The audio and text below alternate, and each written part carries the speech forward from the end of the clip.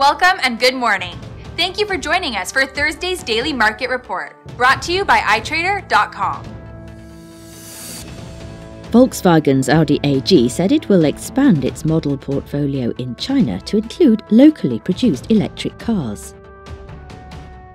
The dollar weakened and gold advanced with bonds after the president elect said the US currency is already too strong.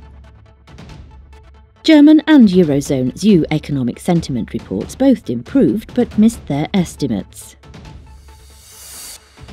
The dollar loonie pair retested the bullish channel's support line that forms key resistance now at 1.319 and may rebound bearishly.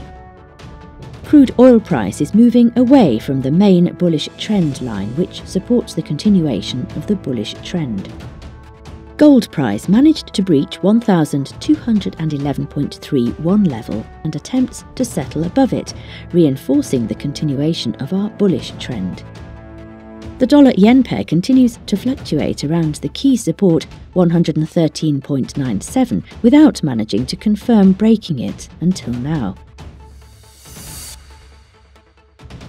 Eurozone's ECB interest rate decision will be released at 12:45 GMT, US initial jobless claims at 13:30 GMT, Australian unemployment rate at 0:30 GMT, UK RICS housing price balance at 001 GMT, US building permits at 13:30 GMT, and Eurozone's ECB monetary policy statement and press conference at 13:30 GMT. Thank you for joining us for Thursday's Market Outlook. We hope that you will tune in tomorrow morning for the latest events in the market. Until then, be sure to log into iTrader.com for all of your trading needs. Your personal account manager is ready to answer all of your questions.